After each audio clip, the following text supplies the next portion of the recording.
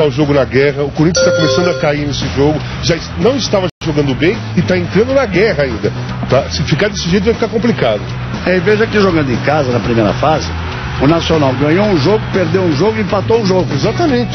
Foi irregular. É. Não é uma equipe que massacrou todo mundo aí, não. É um jogo que o Corinthians, pela categoria que o Corinthians tem, pela forma que tem, pelo, pelo que fez na primeira fase da Libertadores, dava para agredir mais. Eles saíram muito fortes. Viu o primeiro lance, e aí começaram a ter chances, como essa.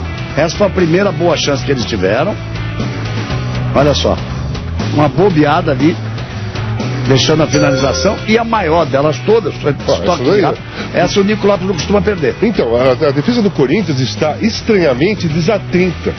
Uh, o, o ponto que mais faz. Uh, o, o, o ponto que mais faz, mais forte do Corinthians é a defesa. O Corinthians sofre muito pouco. O Corinthians deixa